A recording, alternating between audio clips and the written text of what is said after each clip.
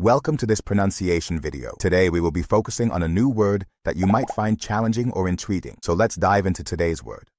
Pulpa, which means, Inner tissue of a tooth containing nerves and blood vessels. let's say it all together. Pulpa. Pulpa. Pulpa. One more time. Pulpa. Pulpa. Pulpa.